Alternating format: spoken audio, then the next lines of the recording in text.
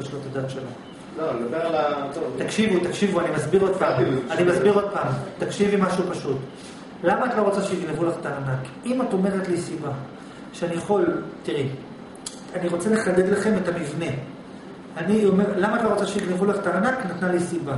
למה את לא רוצה את זה? סיבה. למה את לא רוצה את זה? סיבה. למה את לא רוצה סיבה? עד שהגענו ל... לא יודעת. נכון? בסוף נגיע ללא יודעת, נכון? עכשיו, עכשיו תקשיבו טוב טוב. כשאני שואל אותה למה את לא רוצה שיגנבו לך את הארנק, היא צריכה להגיד לי את התשובה. לא, לא, לא, לא, לא, לא. את צריכה להגיד את התשובה הסופית, שוב, שאחריו זה לא יודעת. כאילו, אם את נותנת לי תשובות שבסוף מגיעות ללא יודעת, אז כבר תגידי לי, אל תגידי לי את הלא יודעת, תגידי לי את האחד לפני הלא יודעת. מבינה? כאילו, תני לי את הכי עמוק שאת מכירה. לא, אבל זה לא מסביר למה את לא רוצה שיגנבו לך את הארנק. לא? כי השאלה, אוקיי, את רוצה שיגנבו, ולמה אם גונבים לך את הארנק זה רע? מקובל עליי שאת רוצה להרגיש טוב, לא מתווכח על זה, אבל למה אם גונבים לך את הארנק זה רע? כי זה גורם לכך ש... מה? שהתעמרות. לא, אתעצבן. אז למה את לא רוצה שיגנבו לך את הארנק? כי זה יגרום לי להרגיש רע, כי... במה זה פוגע לך? בזה שאת רוצה לחיות כמה שיותר. לדוגמה, לדוגמה, לדוגמה. זאת אומרת, זאת אומרת, שאם בן אדם יצליח להפוך את המחשבה שאומרת, אני רוצה לחיות כמה שיותר, יצליח להפוך את זה למחשבה שאומרת, אני רוצה למות כמה שיותר מהר. אם הוא מצליח להזדהות גם עם המחשבה הזאת, אז באותו רגע הוא אומר, יאללה, איך מתים כמה שיותר מהר? קח את כל הכסף, קח את כל זה, קח את כמה שיותר רק בשביל רק להיפטר. עכשיו, מה אני בא לומר? אני בא לומר, קודם כל תקשיבו. אני בא לומר משהו פשוט, מאוד פשוט. בהיגיון, לא בקשר. אז רגע, כל דבר שבן אדם יחקור, לפני שהוא מגיע ללא יודע כלום, זה לא, לא, לא. לא, שנייה, קודם כל, אם בן יכול להיות אדם... שכל זה פחד למות. אולי, דוגמה, רוב הדברים מתנקזים, הבסיסיים, הבסיסיים מתנקזים. דוגמה, למה בן אדם לא רוצה להרגיש רע? כי הוא מפחד שהוא ישנא את המציאות, ולמה הוא מפחד שהוא ישנא את המציאות? כי הוא מפחד שבסוף הוא ייעלם, שזה גם פחד למות.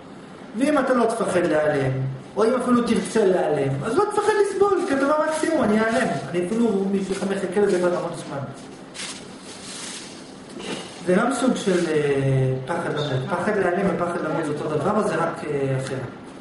אני רוצה לחדד את העניין עוד פעם.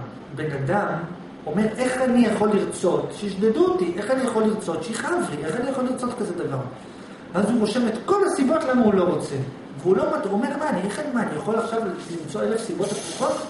אתה לא צריך למצוא אלף סיבות הפוכות. פשוט, פשוט, פשוט, כל פשוט. הסיבות שהוא כתב שהוא לא- לא רוצה, קח אותם ונגיד לה שזה הסיבות שהוא כן רוצה. לא, רגע, אבל איך יגיע לזה?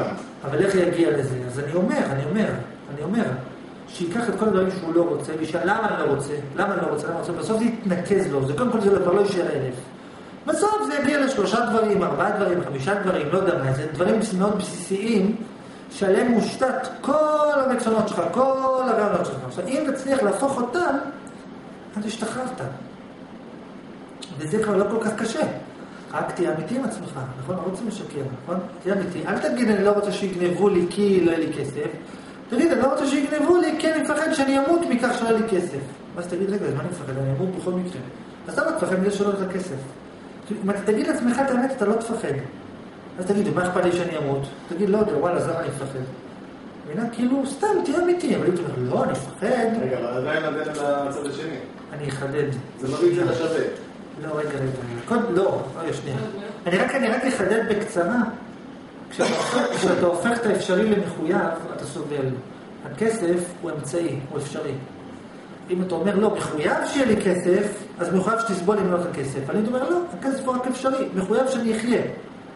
כאילו, המחויב הוא פנימי יותר, הלבושים החיצוניים הם אפשריים, המחויב הוא פנימי יותר. עכשיו, איך אתה עושה את ההיפוך? זה לא מסובך. אתה יושב, קודם כל אתה מבין שהסיבה שאתה לא רוצה שיגנבו לך זה כי נגיד אתה, בסופו של דבר אתה לא רוצה שיגנבו כי יש לזה עלות שאתה תצטרך עכשיו משאבים לבזבז אה, זה. עכשיו תראו, בסופו של דבר בן אדם רוצה לשרוד כמה שיותר, לטעת שורשים, שיהיה לו כמה שיותר, לטעת שורשים, כמה שיותר זמן, כמה שיותר מקום, כמה שיותר. זאת אומרת ש... כל מה שצריך לעשות זה רק להזדהות עם השכל ההפוך שאומר אני רוצה כמה שפחות. זהו. עכשיו, אם בן אדם בתוכו, עכשיו, עכשיו, אחר כך נסביר למה בן אדם לא רוצה להזדהות עם הדבר הזה, למה בן אדם לא מוכן להזדהות. אבל אם בן אדם יצליח להתבונן ולמה אני רוצה לחיות כמה שיותר, אז הוא בעצם כבר יצליח לראות את היתרונות ואת החסרונות של לחיות כמה שיותר, ואז אם הוא יראה את היתרונות ואת החסרונות, הוא. אז הוא יוכל להגיד, רגע, אז אם יש לזה גם חסרונות, זאת אומרת שגם יש סיבה למה אני צריך עוד כמה שפחות. זה לא טבוע בנו, שאני- נרצה לחיות יותר. זה טבוע בך שלא תבדקי למה את רוצה לחיות. זה טבוע בך. זה טבוע, שלא תשאלי שאלות, זה טבוע בך. אם תשאלי שאלות, לא תרצי לחיות כמה שיותר. אבל זה כן מחויב, שאם אתה חי, אתה תרצה להרגיש טוב. לא מחויב כלום. תקשיבו בתכלס, כל בן אדם עושה גם דברים בריאים וגם דברים לא בריאים, נכון? בן אדם, את רוצה למות? את רוצה למות? לא, אז למה את מעשנת? את רוצה למות? לא, אז למה את אוכלת אוכל לא בריא? זה, מהיבט מסוים אני רוצה לחיות, מהיבט מסוים אני מוכנה ליהנות עוד קצת ולחיות פחות. כן, לא כל כך, אה, החיים זה לא... יש דברים העליון. שיקחו לך ותהיי מוכנה לחיות. כן, כן, כן, כן, כן. עכשיו בוא נגיד נדבר, הבנתם את זה? עכשיו, למה בן אדם לא רוצה לבדוק את הנושא הזה לעומקו? כי הוא מפחד לאבד אחיזה, הוא מפחד להשתגע, קוראים לזה. הוא אומר, אבל אם אני אשאל את השאלה הזאת, אני יכול עכשיו לגלות איזו תשובה שתגרום לי לאבד כיוון. מה יהיה איתי? אוי ואבוי. אוי ואבוי לי, לי, גם את פה. הגעתי לגן? באמת היה כואב למות, זה אשכרה. כן, זה בסדר. לא, זה יפה, הוא תרנגול. כן. אבל מה שאני בא לומר, מה התחלנו לומר? אמרנו שהבן אדם מפחד לאבד את, ההיגיון, כי בעולם שלנו משוגע נחשב מי שלא חושב בצורה הגיונית, המקובלת. ובן אדם מפחד לה- להטיל ספק על ההיגיון, כי הוא חושב שההיגיון שלו שומר עליו. עכשיו, מה קורה? הבן אדם אומר, אם אני יחשוב את ההיפוך, אולי יקרה לי דבר רע. אבל מה הוא, לא, מה הוא שוכח? שבכל מקרה אולי יקרה לך דבר רע. זה שאתה תחשוב ככה או ככה, בכל מקרה בסוף יכול לקרות לך דבר רע. עכשיו השאלה היא, זה האם אתה תריב עם זה, או לא תריב עם זה, זאת השאלת המפתח. בסופו של דבר, אם המציאות תרצה, אתה יכול להשתגע בצ'אט, ככה, בשנייה, אתה נכנס ללחץ, מתחרפן, ועושה מה שאתה, מה שאתה לא תכננת לעשות. זה לא מסובך כל כך. עכשיו, השאלה היא, זה מה יקרה איתך, כשזה יקרה איתך. האם אתה תילחם בזה, או תקבל את זה. אז אם אתה כל כולך נאחז, ולא מצליח למצוא מה טוב בהיפוך, אז אתה בבעיה. עכשיו, האחד, עכשיו אני מספר לך, האחדות מגיעה רק אחרי שלא הצלחת ליהנות אפילו מהרע. תבין אותי? בתת מודע, תקשיבו, בן אדם שדדו אותו, אוקיי? מה קורה? הוא סובל. עכשיו תקשיבו טוב, טוב, טוב, טוב. בן אדם שדדו אותו, הוא סובל.